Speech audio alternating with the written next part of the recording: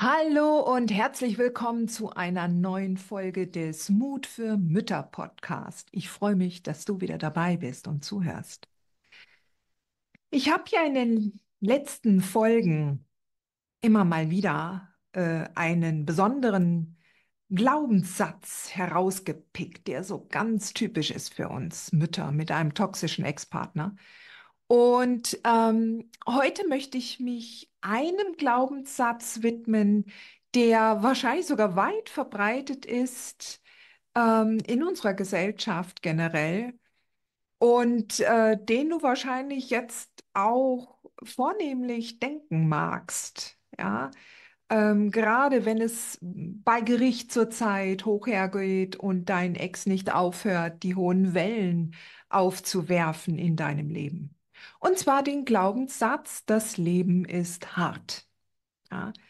Ähm, wenn du dich mal mit dir selbst vergleichst, wie du damals mit 20, 25 durch dein Leben gesegelt bist, welche Überzeugung du damals hattest, du warst damals wahrscheinlich äh, voller Hoffnung und äh, Zuversicht. Du hast vielleicht gerade deine Ausbildung oder dein Studium hinter dich gebracht und alle Türen standen dir offen. So, und wenn jetzt eine Frau in diesem Alter zu dir kommen würde und würde dich fragen, ähm, wie das Leben wohl so ist als äh, äh, Frau in deinem Alter heute, dann, ähm, ja, welche Antwort würdest du dann geben?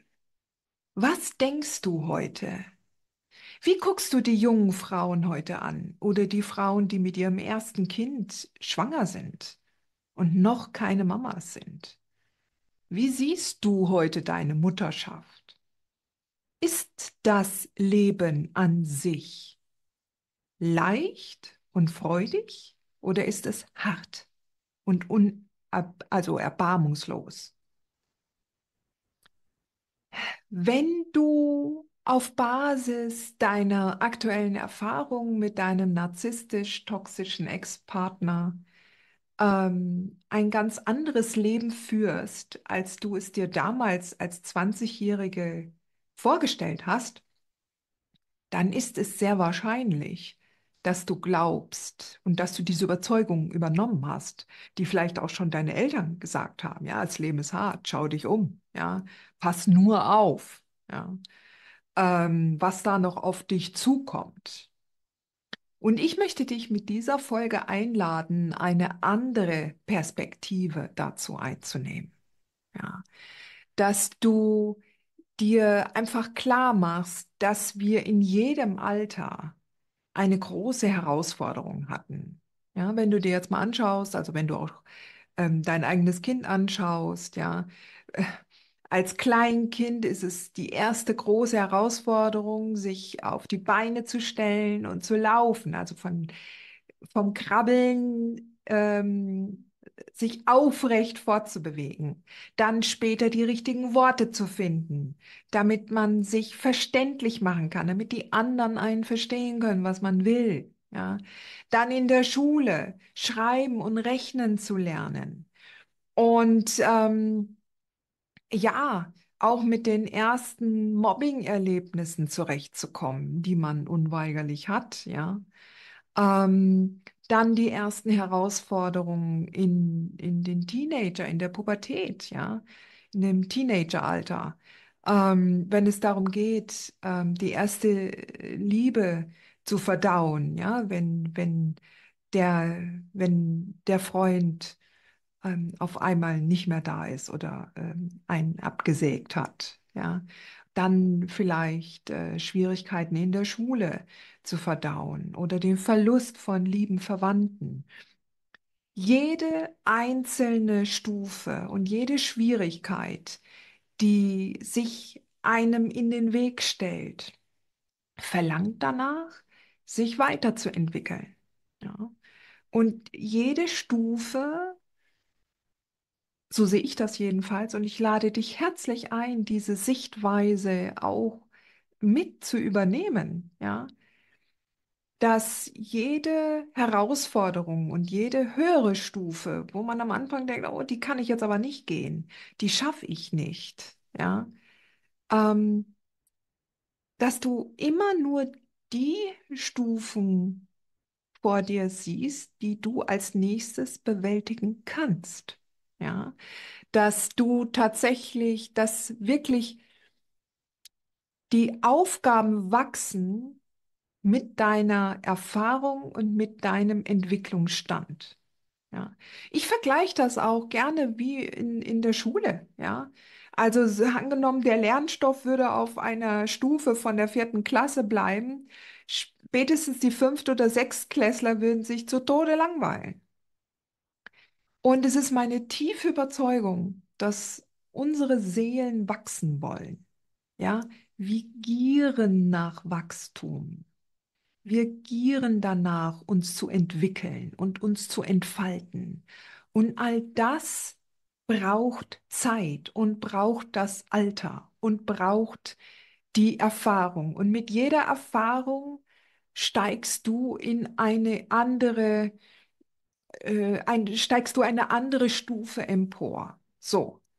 Und wenn es dir so ähnlich geht, wie es mir ergangen ist, das erkannte ich natürlich auch erst rückblickend, ja, dass vor allen Dingen die Erfahrung, die Beziehung, die ich vor meinem letzten toxischen Ex gemacht habe, dass die eigentlich schon Lektionen beinhaltet hatten, die ich nur damals noch nicht gelernt habe. Also ich stelle mir das heute so vor, dass ich diese Stufe noch nicht erklommen hatte, dass ich davor stehen geblieben bin. Und die Lektion, die diese Erfahrung mit diesen Beziehungen, die da relativ glimpflich natürlich abliefen, aber schon sehr toxisch waren, die hatte ich nicht verstanden. Ich hatte es nicht verinnerlicht. Meine Seele ist in diesem Aspekt nicht gewachsen. Und schließlich kam der eine, der die größten der die größten Probleme verursachte in meinem Leben, die größte Herausforderung, das größte Thema. Und ich musste, ich musste lernen. Und ich habe es gelernt. Und genau an dieser Stelle stehst jetzt du. Und wenn du das, was du mit deinem letzten Ex erlebt hast, nicht nochmal erleben willst mit einem anderen Mann, ja, mit anderen toxischen Menschen, weil es muss ja nicht unbedingt ein toxischer Liebhaber sein, der, der dir da zusetzt, genauso wie der Kindsvater, sondern es können ganz einfach andere toxische Menschen sein. Solange du diese Stufe mental und im Innern jetzt nicht für dich erklommen hast, dann wirst du da stehen bleiben und wirst gegebenenfalls auch diese Erfahrung immer mal wieder wiederholen, bis es gelernt ist. Ja. Und ja, unsere toxischen Ex-Partner zwingen uns dazu, diesen, diesen Fortschritt, diese Entwicklung jetzt zu machen. Das Leben ist abwechslungsreich. Das Leben ist schon hin und wieder herausfordernd, aber unterm Strich ist es immer auch schön. Weil wenn du eine Stufe, egal wie hoch die gewesen ist, wenn du die nächste Stufe erklommen hast, dann bist du mega stolz. Dann kannst du dir auf die Schultern klopfen und du kannst sagen, ja, das habe ich geschafft. Ja. So wie es vielen Mamas im Club der mutigen Mütter geht ja, die genau diese, diesen, diese Entwicklung in der Gemeinschaft mit anderen warmherzigen und mutigen Müttern gemacht haben, ja, die verinnerlicht haben, ähm, was es heißt, sich selbst zu lieben, um somit keinen Ansatzpunkt mehr für einen Narzissten in ihrem Leben zu geben. Und ja, genau das wünsche ich mir natürlich auch für dich. Das Leben ist nicht hart, Sweetheart. das Leben ist schön und abwechslungsreich. Und du stehst genau an dieser Stufe, die du jetzt erklimmen darfst. Und das ist nicht so schwer, wie es aussieht. Und die Stufe wird interessanterweise immer kleiner, alleine dadurch, dass du lernst, andere Gedanken zu denken. Ja, die, die Höhe der Stufe, oder vielleicht denkst du auch an Berge, ja, die, die Höhe des Berges und der Stufe ist ein mentales Konstrukt. Und genauso wie du es mental groß und unüberwindbar machen kannst, kannst du es mental und mit deinen Gedanken auch immer kleiner werden lassen, erreichbar in deinem Kopf und in deinem Herzen, bis es dann irgendwann nur noch die Höhe einer Bordsteinkante erreicht hat. Und wo du dann genüsslich einen Schritt weiter gehst und dann denkst, okay, und ich bin jetzt bereit für alles Schöne, was das Leben noch für mich bereithält. Und in diesem Sinne, meine Liebe, nur Mut.